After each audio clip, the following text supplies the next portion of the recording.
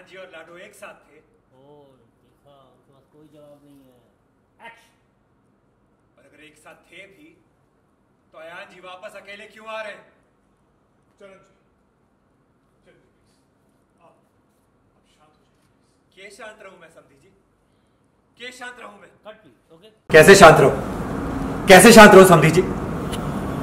जब अयान जी और लाडो एक साथ थे तो एक अनजान जगह में उसे अकेला छोड़कर क्यों वापस आ रहे और ये सिद्ध और तनीषा जी अगर ये जाने वाले थे तो मैंने बताया क्यों ना?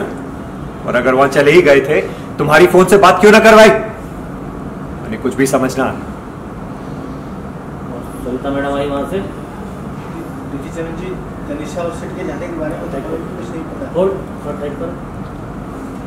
Rolling hand look is okay हाँ सर एक बार फिर से क्यू दे आ चुके हाँ, हैं, सर इनके क्यू से ले रहे हैं? थोड़ा रोलिंग हैंड अगर अयान जी और तनीषा एक साथ थे तो अयान जी अकेले क्यों वापस आ रहे? हमारी छोरी को अनजान जगह पर छोड़कर? और ये तनीषा जी और सिद्ध? अगर ये जाने वाले थे तो मैंने बताया क्यों ना? और अगर पहुँच ही गए थे तो हमारी फ़ोन से बात क्यों ना करवाई? क्या वो नहीं जानते कि क्या हाल है हमारा हमारी लाडो के बिना? देखिए चरण जी तनिषा और सेट के जाने के बारे में हमें भी कुछ नहीं पता था। अब तो बच्चों को आ जाए दीजिए उनसे ही सब पता चलेगा। मैं माफ़ी चाहता हूँ समन जी पर मैं और इंतज़ार न कर सकता। मैंने हमारी लाडो के पास अभी जाना है। कट प्लीज़ आइए सविता जी। तो जो समझी जी ये जानते हुए भी कि अयान जी लाडो को अकेला के अनजान जगह पर छोड़ सॉरी सर हाँ ज़्यादा उधर रेफर मत कीजिएगा बस थोड़ा सा रेफर कीजिएगा। है ना? रोलिंग हैंड एक्शन कैसे शांत हो जाऊँ? कैसे शांत हो जाऊँ समधी जी?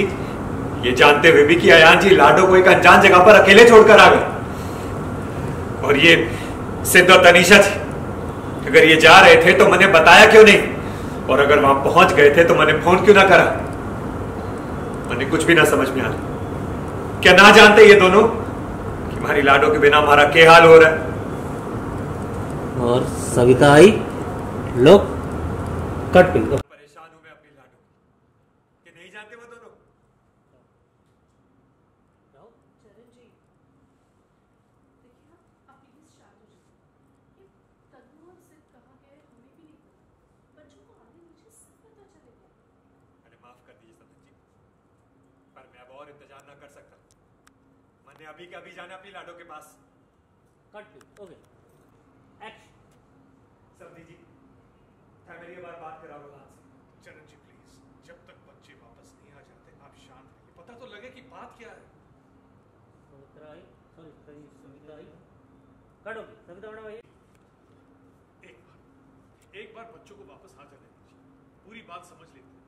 फिर खुद मैं आपको फालतू के पास ले जाऊँगा प्लीज़ आप शांत होइए और एक बात समझ लीजिए कि फालतू मेरी बेटी से कम नहीं है। आया जी ऐसे कैसे कर सके हमारी छोरी के साथ? उसे कैसे अकेला छोड़कर आ सके? समझी जी अगर हमारी छोरी को कुछ भी हो गया ना तो मैं है लोगों को कभी माफ़ नहीं कर पाऊँगा अरे उससे कुछ क्या होने लगा भाई साहब?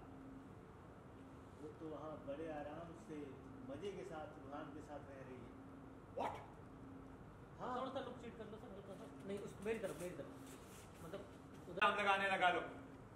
मैंने पता है हमारी छोरी कभी ऐसा कर ही ना सकती।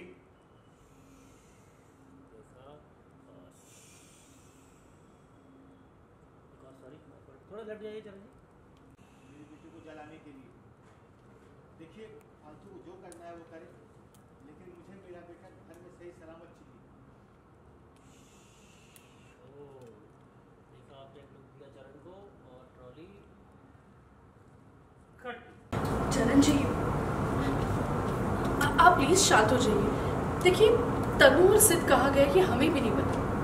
बच्चों को आने दीजिए सब पता चलेगा। माफ़ करिएगा समझन जी। पर मैं और इंतज़ार न कर सकता। मैंने हमारी लाडो के पास अभी जाना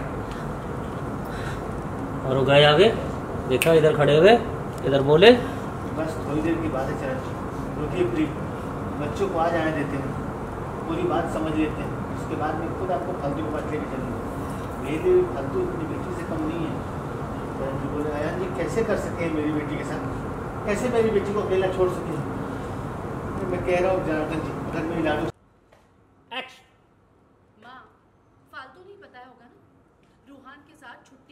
होगी मेरे को जो करना है वो करे। मुझे मेरा बेटा इस घर में सही सलामत चाहिए, बस। मेरी बेटी को फालतू को जो करना है करे लाइन तेरा। एंड रोलिंग एक्शन फालतू को जो करना है वो करे। मुझे मेरा बेटा इस घर में सही सलामत वापस चाहिए बस।